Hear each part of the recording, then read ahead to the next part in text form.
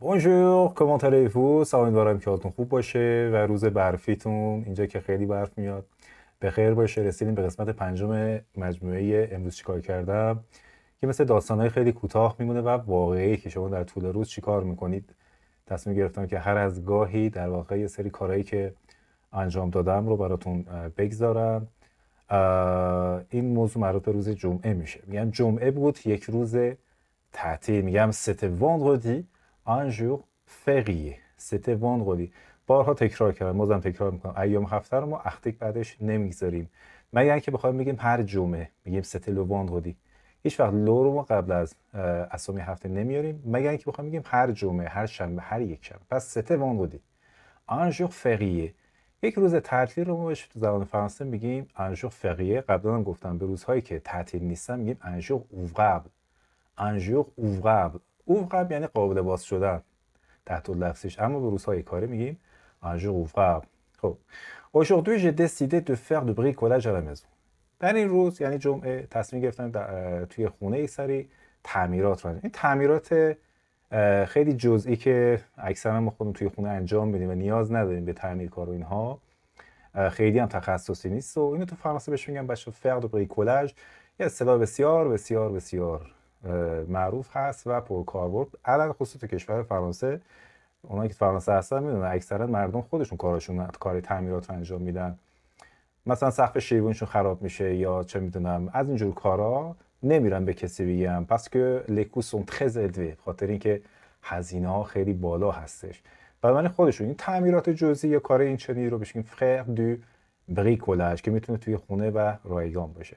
J'ai décidé de faire du bricolage à la maison. باید یکی از کشوهای کمد دراور رو تعمیر می‌کردم. میگم که j'ai dû réparer l'un des tiroirs de la commode.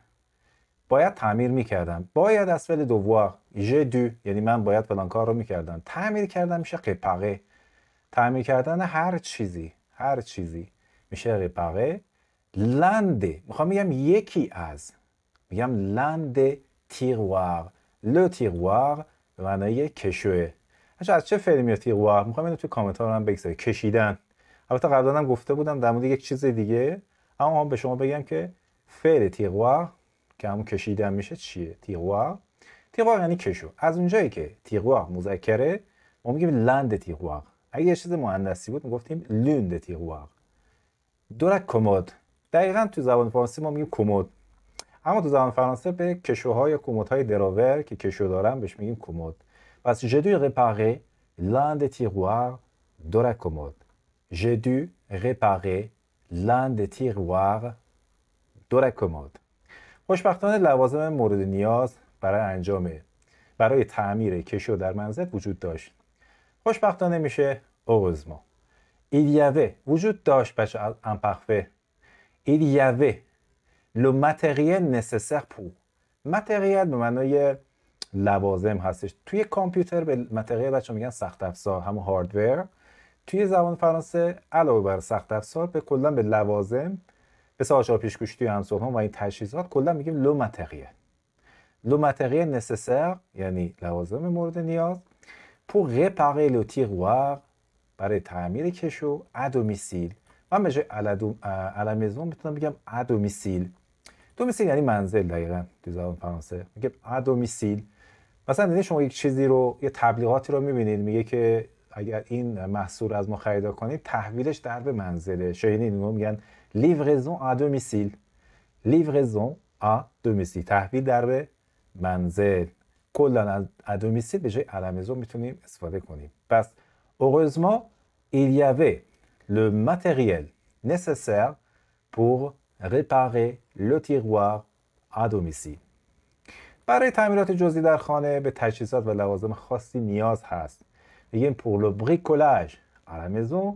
حالا اون فر دو بریکولاژ اسمش میشه لو بریکولاژ دیگه. اینجا دیگه من فعلش رو به کار نبردم. pour le bricolage à la maison یعنی برای همین تعمیرات جزئی یا خورده‌کاری به اصطلاح توی خونه به تجهیزات و لوازم خاصی نیاز هست. میگیم des équipements et outils spécieux sont nécessaires. اکیپمان به معنی تجهیزات حالا اسم گذاشتیم دیگه des outils outil به معنی همون tools انگلیسیه یعنی ابزارالات تجهیزات و ابزارالات خاص spécial بچه جمع مذکرش میشه spéciaux spéciaux sont nécessaires لازم هستن پس pour le bricolage. À la maison des équipements et outils spéciaux sont nécessaires. مثلا دریل معمولی برای سوراخ کردن exemple une perceuse pour percer. دریل تو زبان فرانسه میشه پرسوز اصلا ما یه فعلی داریم بچه اینجا هم گذاشتم پرسه به معنی سوراخ کردن خب؟ اون به صلاح ابزار یا اوتی که شما استفاده می‌کنید برای پرسه برای سوراخ کردن میشه پرسوز و مؤنثه. این پرسوز پو پرسه که همون دریل که هم, می‌شناسیم. اما یک دریل شارژی برای باز و بست کردن پیچ ها دریل شارژی که البته اینم می‌تونه یه چیزایی رو سوراخ بکنه ولی خیلی قدرتمند نیستش بیشتر برای باز و بسته کردن پیچ هاست. که بهش میگیم این visseuse sans fil یا ما هر چیزی که قابل شارژ باشه و سیم و اینا داشته باشه میگیم sans fil یعنی بی سیم. احتیاج به سیم اینا نداره. یعنی البته شارژ می‌کنی بعد می‌تونی تا یه مدت استفاده کنی. پس دریل بی سیم یا همون دریل شارژی رو بهش میگن visseuse sans fil یا rechargeable یعنی قابل شارژ. Rechargeable visseuse بچه از کلمه vis میاد که به پیچه. vis یعنی پیچ. visseuse یعنی یه چیزی که پیچ رو میبنده اصطلاحا. پس اون visseuse sans fil دریل شارژی یا rechargeable pour visser et dévisser من گفتم این فعلاش هم براتون بذارم بچه ها بستن پیچ رو میگیم ویسه. اما باز کردن پیچ رو بهش میگیم dévisser این dé رو اگه من بذارم. معنی برعکس مثل faire و défaire مثل brancher و débrancher یعنی وصل کردن به پریز برق و کشیدن از پریز. پس pour visser et dévisser. گفتم خود پیچ هم میشه بچه ویس. ویس به معنی پیچه پس ببینید هم فعلش یاد گرفتید هم ابزارالات یعنی visseuse visseuse sans fil pour visser et dévisser دو عدد پیچ گوشتی و تعداد کافی پیچ. انگار دستور آشپزی می‌داد دو عدد پیچ گوشتی و تعداد کافی پیچ deux tournevis et suffisamment de vis.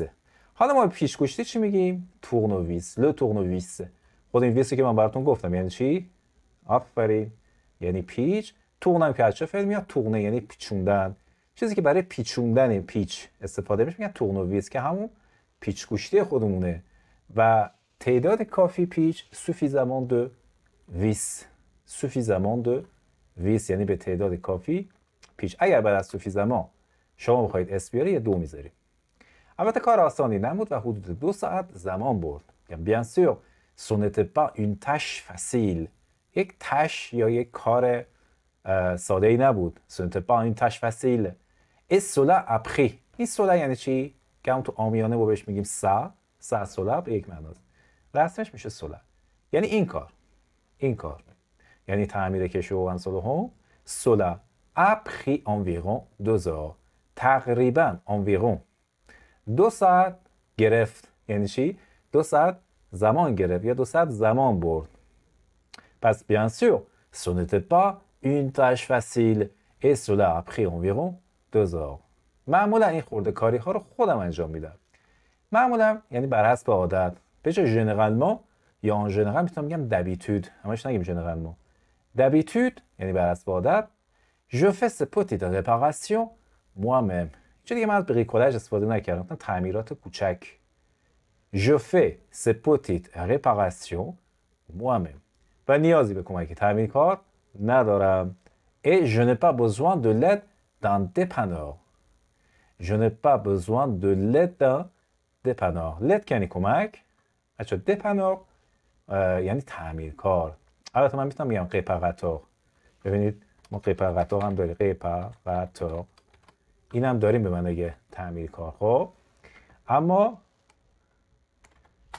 این نقطه رو من اینجا بذارم. ببینید دپنور هم به معنی همون تعمیرکار. هر چیزی که ببین شما اصلا کلمه پن لپن مثلا ماشینتون خراب میشه میگه مواتیو اتومبه آن پن خود پن یعنی خرابی دپناق یعنی کسی که میاد این پن رو خارج می‌کنه یعنی خرابی رو خارج می‌کنه یعنی تعمیر می‌کنه و جاش قیپقاتو هم می‌تونیم بگیم بعد از اون من و همسر عزیزم تصمیم به تغییر دکوراسیون خونه کردیم. حالا که دیگه حوصله کرده بودیم و برسیم به جون خونه و در واقع یه سری کار رو انجام بدیم تصمیم گرفتیم یه تغییر دکوراسیون هم بدیم. خب میگم بعد از آن après ça یا cela ma chère épouse moi épouse معنی بچه همسره. من می‌تونم بگم فم. فم یعنی زن اما اپوز یعنی همسر. تو این فرما فرم‌های مهاجرتی یا امثال هم همسر رو نوشته جلوش épouse. épouse اگه مذکر باشه بچا اپو این شکلیه. اپو یعنی آخرش ایکس داره. اینم براتون بذارم. اما مؤنثش میشه épouse. ma chère épouse et moi. همسر عزیزم. و من حالا وقتی میگم همسر عزیزم و من یعنی چی؟ یعنی nous دیگه. ضمیرش nous ه. پس میگم avons décidé خب؟ avons décidé تصمیم گرفتیم de. changer la décoration dans la maison changer la décoration یعنی دکوراسیون رو تغییر دادن. یه تغییرات بدیم مثلا چیکار کردیم؟ مثلا جای مبل و تلویزیون رو توی سالن عوض کردیم. Par exemple nous avons changé la place des canapés همون کاناپه یا مبل et de la télé و همچنین جای تله یا تلویزیون dans le salon. Salon یعنی اتاق نشیمه اتاق پذیرایی. Par exemple nous avons changé la place des canapés et de la télé dans le salon. چند تابلوی جدید به دیوار آویزون کردیم اینو فرانسه چجوری میگیم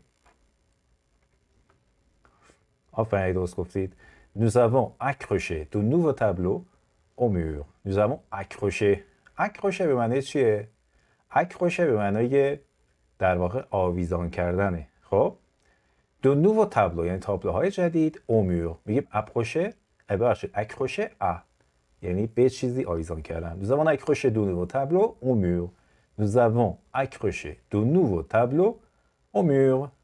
در کل وقتی کار تموم میشه و نتیجه رضایت بخش هست او توتال در مجموع می‌تونم بگم او توتال lorsque به جای کان lorsque le travail est fait وقتی کار تموم میشه انجام میشه et que و اینکه et que و اینکه le résultat est satisfaisant یعنی رضایت بخش بچه ستیسفه نگید ستیسفه یعنی خودت راضی هستی. مثلا جو سی ستیسفه دو من من از کارم راضیم. جو سی ستیسفه مثلا دو من سالر من از حقوقم راضیم. اما ستیسفوزان که ستیسفیزان نوشته میشه ستیسفوزان خونده میشه این رضایت بخشه. پس au total lorsque le travail est fait et que le résultat احساس خوبی به آدم دست میده.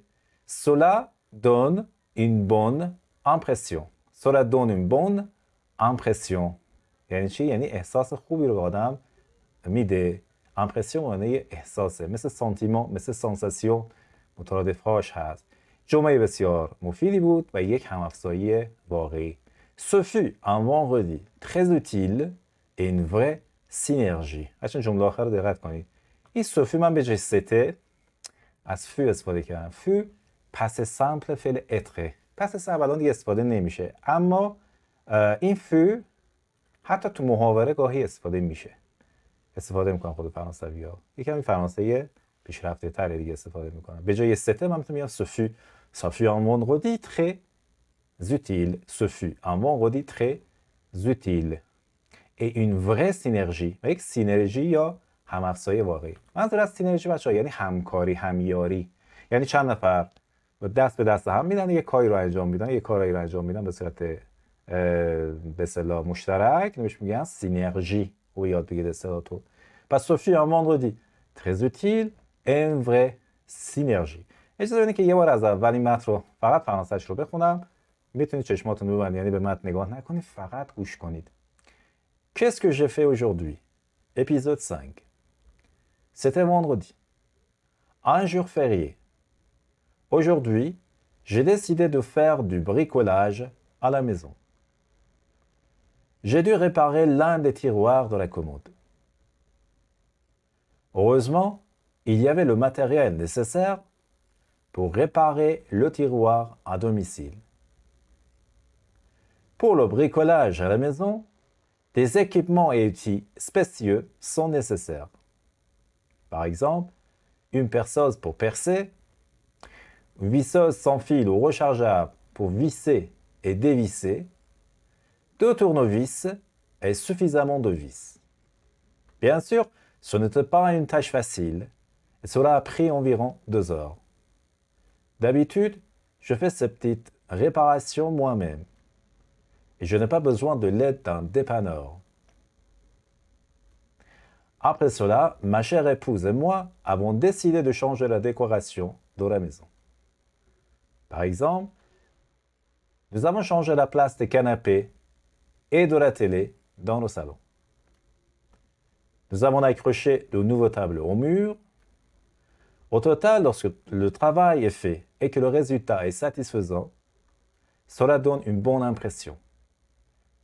Ce fut un vendredi très utile et une vraie synergie. Merci, c'est la fin de notre vidéo d'aujourd'hui. J'espère que vous avez bien, euh, ça vous a bien plu et que vous avez beaucoup utilisé.